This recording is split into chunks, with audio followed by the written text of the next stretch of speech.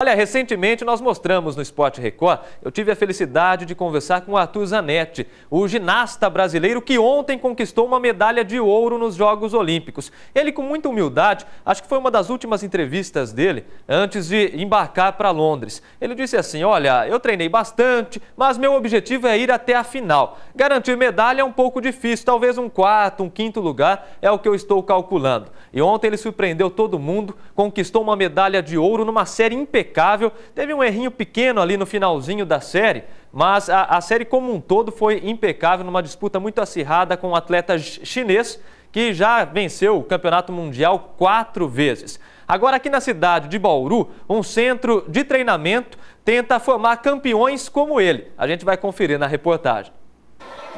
Aos poucos, Henrique vai seguindo os passos dos grandes nomes da ginástica. E não são só os passos, não, mas os saltos, os giros.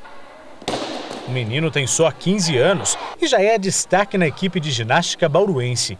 No último Campeonato Paulista, foi quarto colocado no individual geral e terceiro no salto sobre a mesa na categoria juvenil.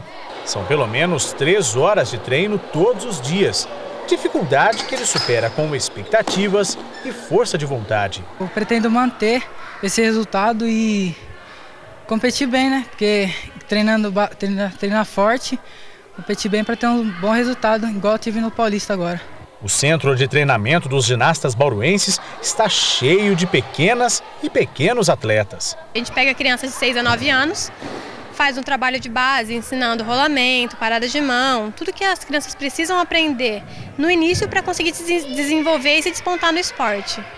E as crianças que se destacam na escolinha, que é na iniciação, a gente seleciona e traz para a equipe para começar a competição, para conseguir desenvolver o esporte e mostrar a ginástica do município para outras cidades. São crianças que vão amadurecendo na idade, nos movimentos e nos sonhos, inspirados por um novo herói nacional.